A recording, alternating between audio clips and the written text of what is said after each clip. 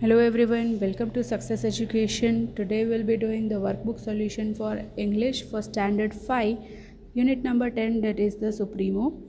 And please do like, share and subscribe my channel for more updates. Now we'll start with the question answers. Who is the king of the sky in the poem? So the sun is the king of the sky in the poem. Second one, whom does he order to go away? He orders the moon and the stars to go away. Third one, write the rhyming words of the lines. So sight, white and light are the rhyming words. Fourth one uh, is the MCQ. First one, the sun is called the king of the sky. It's option number A. Second, the moon turns white in the sunlight. It's option number C.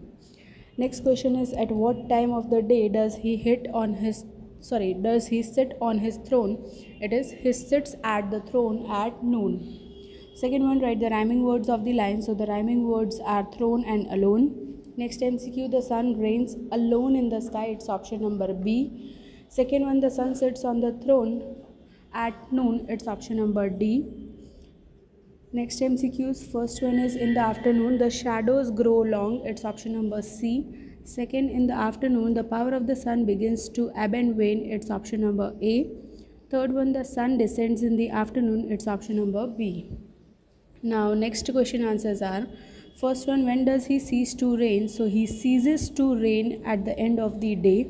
Second, what happens when the sun goes down? When the sun goes down, the stars come out and the night returns again. Third, write the rhyming words of the lines. So, way, day, and rain gain are the rhyming words. Next MCQ. First one, the sun goes down in a kingly way. It's option number C. Second, the sun ceases to reign at the end of the day. It's option number A. Third, when darkness falls, the stars come out. It's option number D.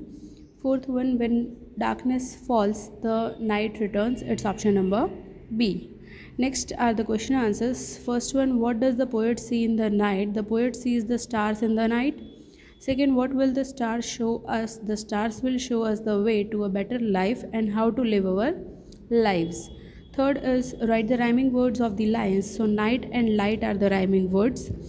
Next MCQs are first one stars will be our light. It's option number b. Second stars will show us the way to a better life. It's option number a.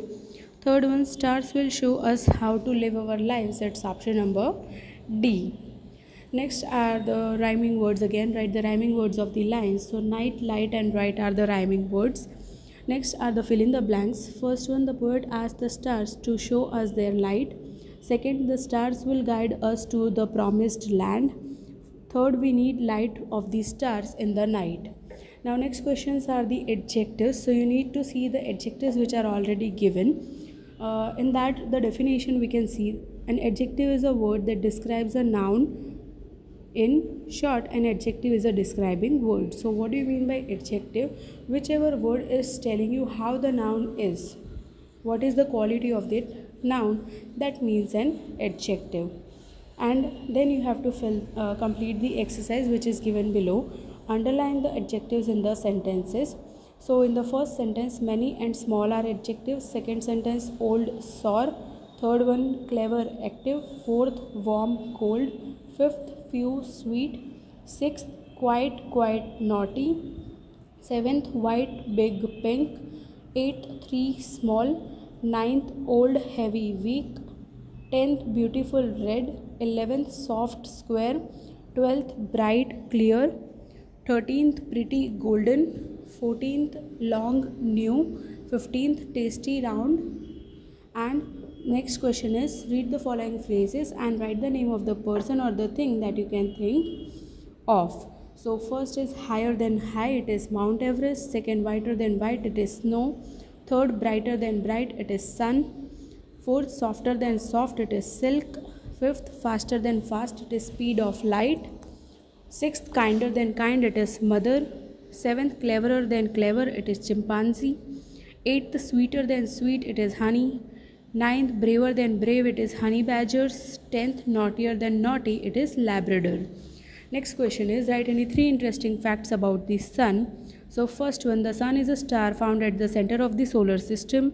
Second light from the sun reaches the earth in around 8 minutes. And third a solar eclipse occurs when the moon is between the sun and the earth. Next question write any three interesting facts about the moon first one the moon is very hot during the day but very cold at night. Second, the average distance from the moon to the earth is 3,84,403 kilometers. Third one, a lunar eclipse occurs when the earth comes between the sun and the moon. Now, the last question is write a short paragraph on uses of solar energy. So, the uses of solar energy are solar energy means the energy from the sun Today, solar energy is one of the main sources of energy. It is the most important renewable source of natural energy. There are many uses of solar energy. It is used to generate electricity, which is used to light up our homes, offices, and streets. At home, solar energy is used for cooking and for healthy, uh, sorry, and for heating water. There are solar inverters and solar water purifiers also. Solar energy is also used to charge batteries of mobile phones, cars and other things. And here we come to the end of the unit number 10 that is the Supremo. I hope you have understood the whole chapter and if you have any doubts you can write in the comments section. I'll surely try to answer all the questions. Thank you for watching my video and don't forget to hit the subscribe button for the channel for more updates. Thank you.